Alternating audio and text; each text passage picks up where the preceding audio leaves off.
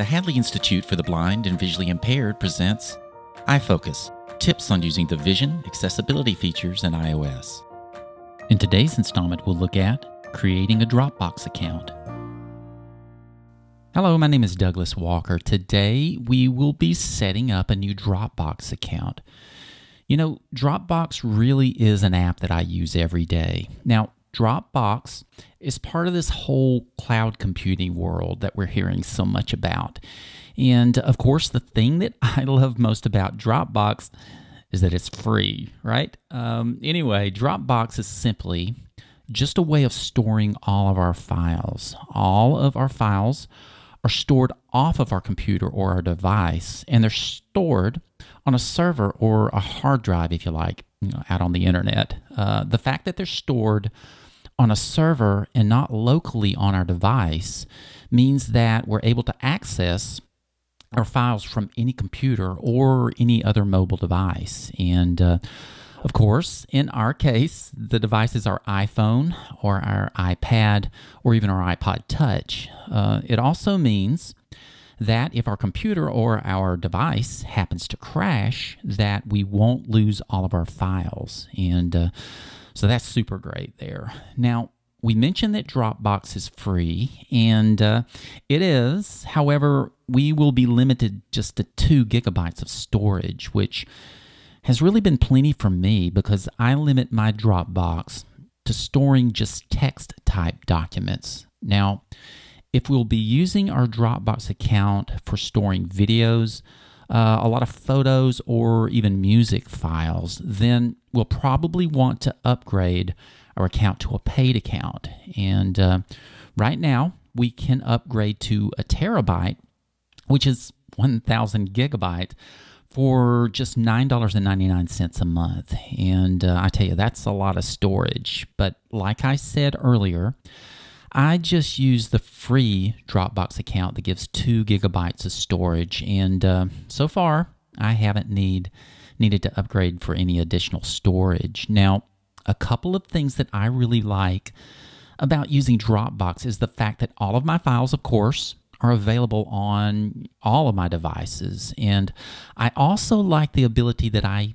you know have uh, to share files right from my Dropbox app. And uh, so that's pretty great as well. So we can see why this app can be super useful. Uh, I mean, most people know that I'm all about productivity. And uh, of course, hey, we all love something free, right? You can't beat that. Uh, okay, so today's all about how to set up a new Dropbox account. Now, the easiest way to set up an account is right when we first launch our Dropbox app. And uh, setting it up from our app is going to be much more accessible than trying to set up an account on our desktop computer. So, uh, how about we check out how to set up an account? Okay, first things first, uh, we first need to go to the App Store and, of course, download our Dropbox app. Now, if you aren't yet familiar with how to use the Apple App Store, well, it's your lucky day because we just so happen to have an iFocus video called Searching and Downloading from the App Store. Uh, and it's going to help you quickly get familiar with exactly how to use the App Store. Okay, but for today's video, we've already downloaded our Dropbox app and it's right here on our desktop. So uh, we'll go ahead and just flick to it to get started here. So we'll just flick to Dropbox here. Dropbox. Double tap to open. Great, and uh, here it is. And so we'll just single finger double tap to activate it or to open it up here. And uh, we'll just single finger double tap anywhere on our screen. Dropbox. Sign in with Google. All right, our Dropbox app, of course, is opened, and uh, we've been placed right here on our sign in screen. Now, we heard VoiceOver announce that we've been placed on our sign in with Google button. And uh, this can be really nice because if we have a Google account, we can use our Google credentials to sign right into our Dropbox account. However, today is all about signing up for a new account. So we'll just right flick until we find our create account button. And uh, we'll just right flick from here. Sign in button. Okay, here's our sign in button. And uh, of course, we would activate our sign in button if we already have a Dropbox username and password. So uh, we'll just right click again and uh, we'll just right click. Create account button. Okay, here we are on our create account button.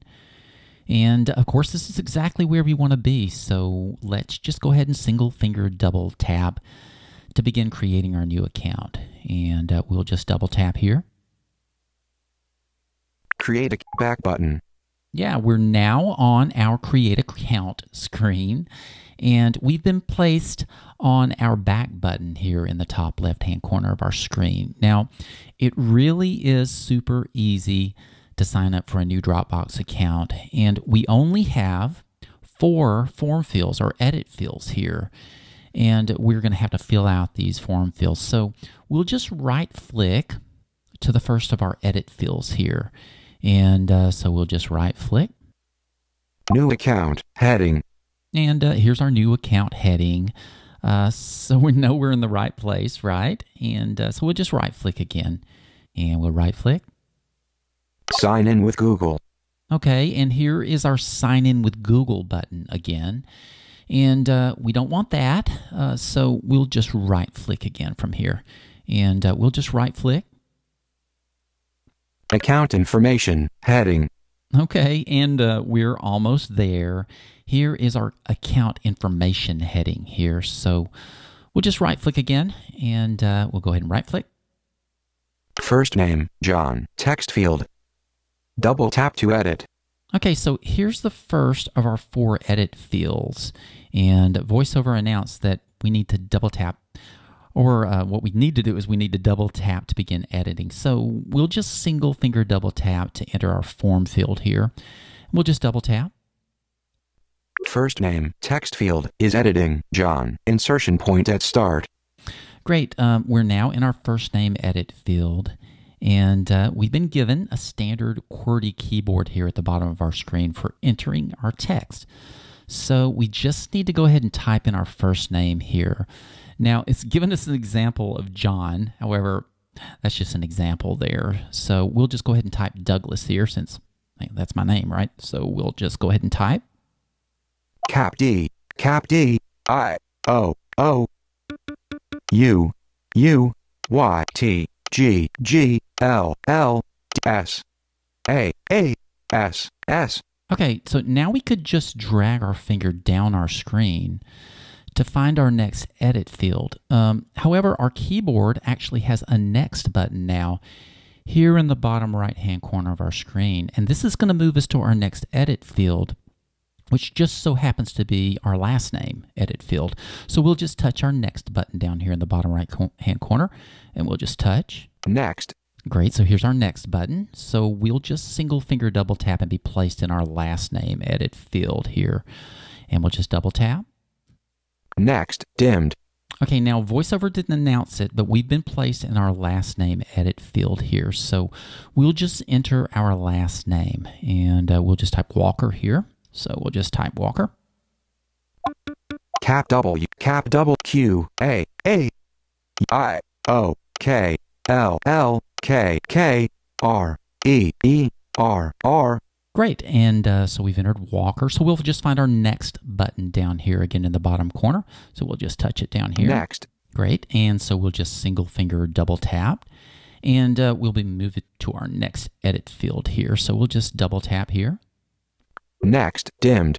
All right, now this is asking for our email address. If we were to touch up here in that edit field, it would say email address, but this has moved us to uh, where we need to type in our email address. Now, it's good to know that our email is going to be our username for our Dropbox account.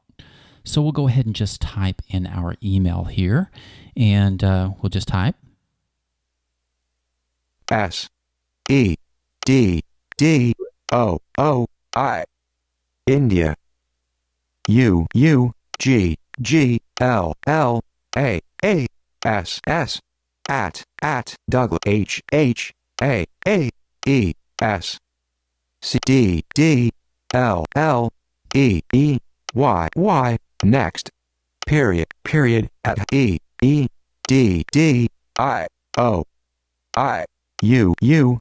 Great. So there is our email or my email. So we'll just find our next button again and we'll just touch it in the bottom Next.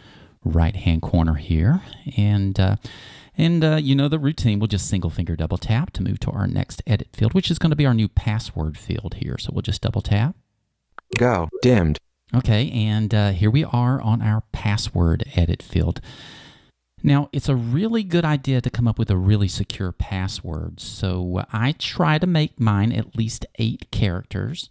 And I also like to use a combination of letters and numbers. So uh, let's just type in our password here. Now, through the magic of video and uh, to protect our privacy here, we'll just fade out and I'll enter our password. But don't worry, um, because we'll be right back. Okay, so we're back now, and uh, we've entered our password here. All right, since we've entered text into all of our edit fields and have it completely filled out, uh, we now have a go button instead of having a next button down here in the bottom right hand corner of our keyboard.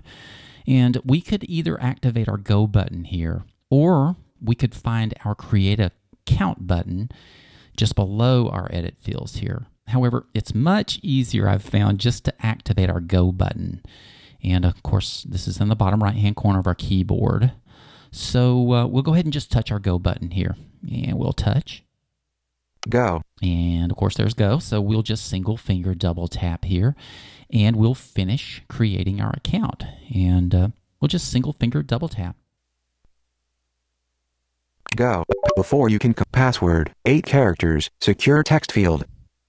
Double tap to edit. Great. So we have been presented with a terms and conditions pop-up menu here and uh, we're actually been placed back on the password page. So let's go ahead and just touch our terms and the top of our terms and conditions uh, pop up here. So we'll just touch. Before you can complete your registration you must accept the dropbox terms of service. Like we said this is our descriptor at the top of our pop-up here. Now We've been given three buttons here, so uh, how about we just right flick uh, through these buttons and see what we have here. So we'll just right flick. Now we're looking for an I agree button, so we'll just right flick here. I agree button. All right, and so here's our I agree button, but we do have two more buttons here in our dialog box. We have a view terms button uh, for viewing the terms, of course, and then we have a cancel button. However, we're already on our I agree button. So we'll just single finger double tap to agree to our Dropbox terms and conditions. And uh, this is going to finalize our new account. So we'll just single finger double tap here. I agree. Creating account. Loading. Upload photos. Heading. And uh, this is pretty great. Uh, our new Dropbox account has been created. Now, an upload photos screen here has opened and uh, we've been placed on our upload photos heading here at the top center of our screen. And of course it's just below the time in our status bar here. Now our upload photos screen here gives us the ability to upload all of our photos that are stored on our iphone right to our Dropbox account. Now, we mentioned earlier that this could take up a lot of our storage, and uh, you know, we can always skip this process by flicking to our next button here that's on our screen. So we'll just right flick to this, and uh, we'll just right flick. Skip button. Okay, and uh, here we are uh, we're on our skip button in the top right corner here. Now we always have the option of uploading our photos later if we like, and we can do this from within our Dropbox settings menu. So for right now, we're just going to activate our skip button here. And uh, so we'll just single finger double tap here. Back button. Okay, this screen is a screen that's going to allow us to instantly activate Dropbox on our computer. And so this is nice, but this also can be done from our Dropbox settings later. So let's just right click to our skip button here, sort of the streamlined version. We'll just right flick to skip. Install Dropbox heading. And there's our install Dropbox heading there. So we'll just right flick until we get to our skip button here. Skip button. And there's skip, so we'll just single finger double tap here. And we'll just double tap. Settings button. Okay, so this is great. We've been placed right in our new Dropbox interface where we can access all of our Dropbox files and folders. Now, if you're not yet familiar with exactly how to use Dropbox, well, we just so happen to have a Dropbox iFocus series, and it's going to walk you through exactly how to use all aspects of Dropbox here. So, uh, you might want to check out our other Dropbox iFocus videos as well. All right, we've set up our new Dropbox account here, and uh, you know we're good to go. Again, my name is Douglas Walker. Uh, take care, and I'll see you next time. For more from the iFocus series, including many other topics of interest to individuals with vision loss, visit the Videos at Hadley page on the Hadley Institute for the Blind and Visually Impaired website at www.hadley.edu.